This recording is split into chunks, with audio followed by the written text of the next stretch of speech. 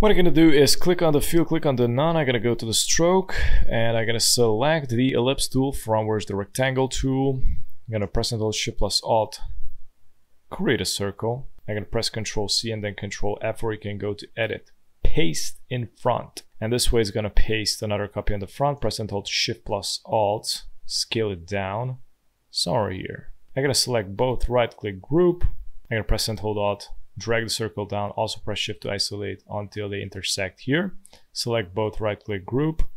And now I'm gonna select the rotate tool or you can press the letter R. There you go. I'm gonna press and hold alt, click here, where's this center anchor point. Click on it and we're gonna type in 60 degrees, click on copy and from here press control D. I'm going to select them all, press Shift plus M, or you can go and select the Shape Builder tool, Shift plus M. Okay, so I'm going to combine these, together, this and this. I'm also going to combine these right here. There you go. Okay, right click on group, right click on group, right click. There you go. So let me check. This is together, which is not good. I'm going to delete that. And I need this little thing right here. And also, I don't need this. So I'm gonna need, I'm gonna delete these superficial elements from here. So I'm gonna need this also, this little circle and this. So I'm gonna press and hold shift, click also on this shape and on this little part. I'm gonna right click group. So these are it, which we're gonna use and check this out. This is the center point where this is right here. I'm gonna recolor this as magenta right now. And I can right click, arrange, bring to front. I'm gonna select the rotate tool, press and hold alt, click on the center point, and I'm gonna go with 60 degrees, click on copy, press Control D until it goes round and round. And now I'm gonna select the magenta, press and hold shift, highlight the magentas, and I'm gonna put these here, delete the rest. This came out pretty good actually. I'm gonna select them all, right click group, and we're going to try to add some shadings like how you saw in the previous example. I'm going to recolor this as black. I'm going to select the circle. Again, I'm going to go here to the anchor point, see if it fits there. Perfect. So this is the center point at this uh, crossing section. I'm going to press Control C, Control F, press hold Shift plus Alt, scale it down. I'm going to select both with Shift, drag it out. There you go. I got a little bit of, so as you can see, this one thick, this one thin, because here at the transform, the scale stroke and effect is checked. So I'm gonna uncheck it. I'm gonna make the same stroke thickness. This is gonna be like one PT. I'm gonna increase this also. So this is one. I'm gonna try it out with two, see what happens. Yeah, two, it's pretty good. Two, it's pretty good. I'm gonna go with two here also. Um, I'm also gonna try one with three or four. I'm gonna go with three. I think three is better for this one. I'm gonna try it out with three. Okay, right click group. I'm gonna put this right here where it was before. Okay, so I'm gonna go to the object, go to the blend, make. I'm gonna double click on the blend tool, select specify steps, increase the number until it's gonna become black. So as you can see, you know, the distance between the circles is kind of narrow now. I'm gonna increase it to seven. It gets even more narrow. 8 is like, you know, almost black. This is it. Click OK.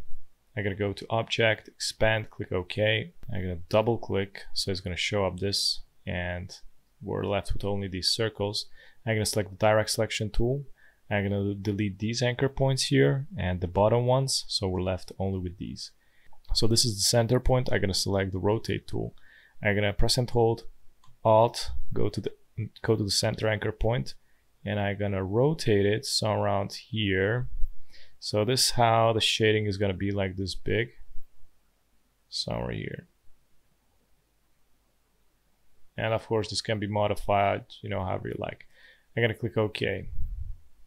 And now what I need to do is I'm gonna decrease the opacity and I'm gonna select the add anchor point tool and I'm gonna click here where they intersect I'm gonna add anchor points, you know. I'm gonna select the letter P. I don't even need to select the add anchor point tool is it does it with the normal anchor point, point tool also. I'm gonna press the letter V, select, press the letter P, add the anchor point where they intersect. Press the letter V, select, press the letter P, add anchor point. Press the letter V, press the letter P, and so on and so forth. And now I'm going to select the direct selection tool. I'm going to select these anchor points at the top, click on delete. I'm going to increase the opacity back to 100%. I'm going to go to the stroke profile right here and select this one. Double click release and this is how it looks. I'm going to create a new copy. I'm going to select the circle. What is that? The rotate. I'm going to press and hold Alt, go to the center.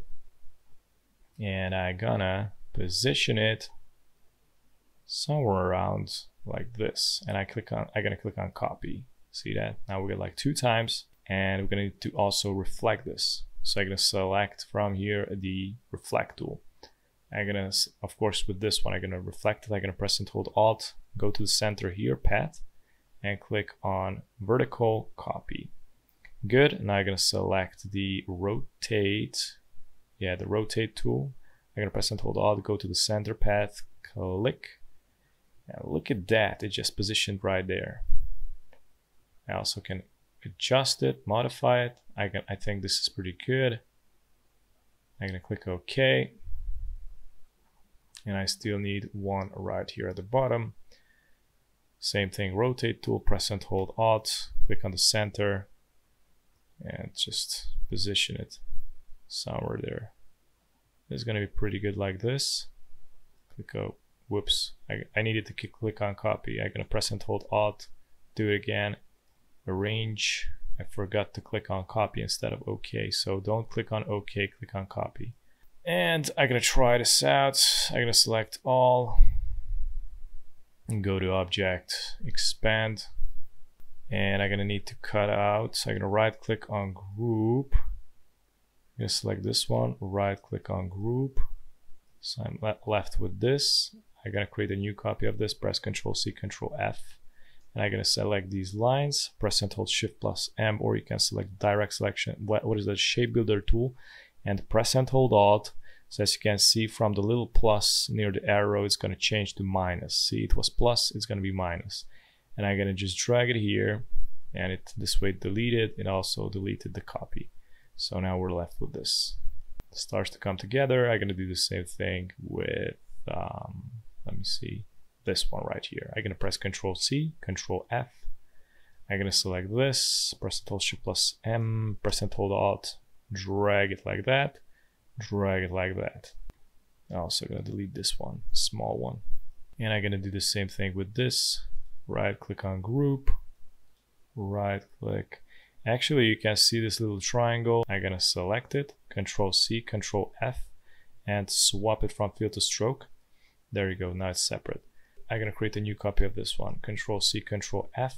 I'm gonna press and hold Shift, select these lines. Press Shift plus M, or you can select the there's a shape, shape builder tool. Press and hold Alt, and just delete these in here. I'm gonna also delete this external part.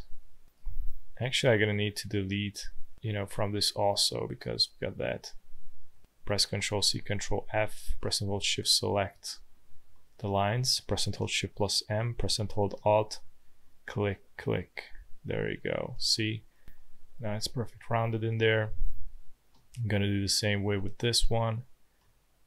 See if I decrease the opacity, check it out. It just goes out here. And here it's pretty good, but I also can drag this in. See?